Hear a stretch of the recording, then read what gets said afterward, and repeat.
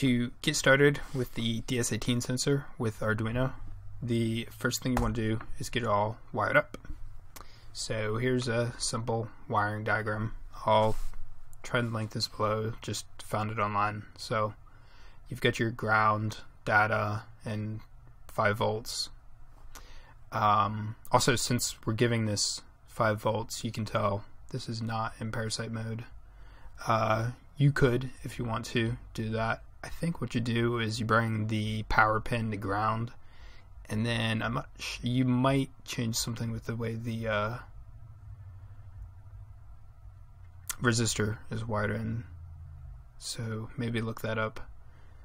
Um, after you have it wired up though, then you also want to grab two libraries. You want the one wire library and the Dallas temperature library. And if you go ahead and extract those, you'll get the libraries. You want to put them into your uh, the Arduino libraries folder, which on Windows and Mac that should be in your sketchbook folder. So that's pretty simple. And then on Linux, it's going to be in user share Arduino. Um, before you do that though, uh, you see Dallas temperature it came out it's got the name with the dashes. You need to change it so that it's just letters and numbers. So I'm gonna just call it Dallas temperature. And that's just something the Arduino IDE needs. Doesn't like dashes just letters and numbers. So pretty simple. And then once you put those in your library folder which I've already done. It's not. Okay. Yeah, I've already done that. Um, you may have to start your the IDE or restart it, or else you won't be able to find the libraries. But I've already done that, so don't need to do it. Uh, go ahead and include the libraries. So one wire that h, and then I'm going to set up the functions.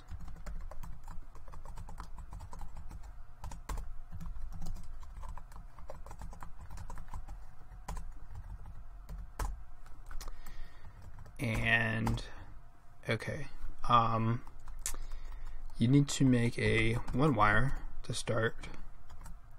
I'll call one wire and I'm going to put it on pin 6. And then I'm going to make a Dallas temperature called temp sensor. And I'm going to pass it the one wire we just made. And actually I'm going to put that on pin 9 because that's what I have it wired to. Doesn't matter and then in the setup you want to say temp sensor or whatever you named it dot begin. And I'm also going to start the serial on 9600 baud so that we can spit data out to serial. And then in our loop function we're going to say temp sensor dot request temperatures. And then we, I'm gonna make a double. I'll call it temp. And it's gonna be temp sensor dot get temp c by index. So here we're getting it by index uh, the one wire protocol is it's kind of like I2C, so you can put more than one device on the same bus and then address them independently. So I wish I had more of these sensors that I could kind of play around with more than one of them. If you've got a whole bunch of them, maybe make a weather station or something. If you're a meteorologist. But I've only got one, so it's the first one on the bus. And then here, temp C. Uh, you could also get Fahrenheit if you wanted. it's probably not going to show up as a keyword, but I think that's just uh, it's not added to the keywords in the library. I might do that later. Um, if you go ahead and take a look in the header file, actually, then temp, temp F, it, it, all it's doing is just calling temp C. So I'm just going with temp C. But if you're doing Fahrenheit, you might as well call temp F and have it do the conversion for you. Uh, now I'm going to spin stuff out to serial. So serial.print. And I'm also going to make it comma delimited. So temp and the comma will help us when we're parsing in Qt. So then also flush it just to make sure that it gets out. And we need to delay.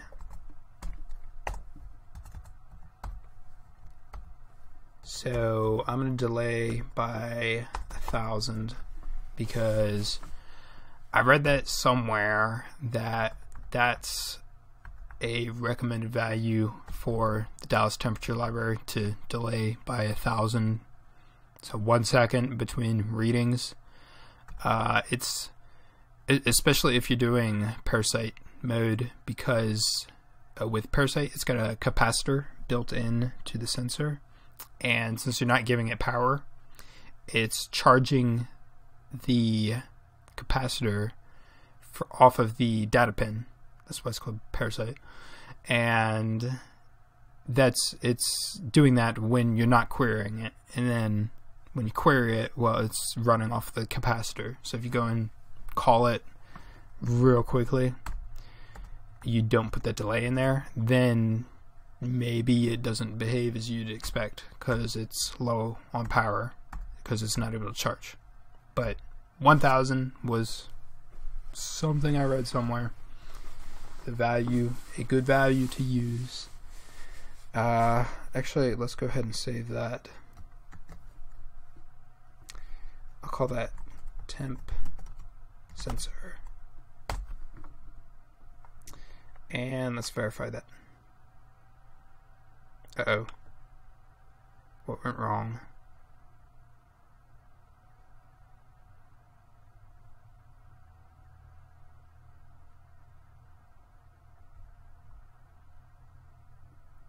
Capitalize my H.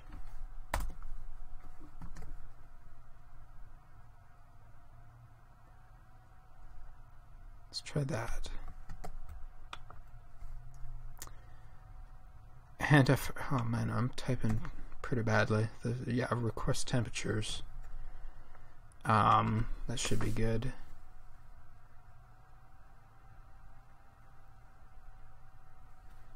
Okay, so I've already got that plugged in. But go ahead and plug it in and upload. And then if we go to the serial monitor, you should see Celsius temperatures. So looks like it's pretty room temperature right now. Let's go and warm that up a bit. So I'm holding it and it's going to warm up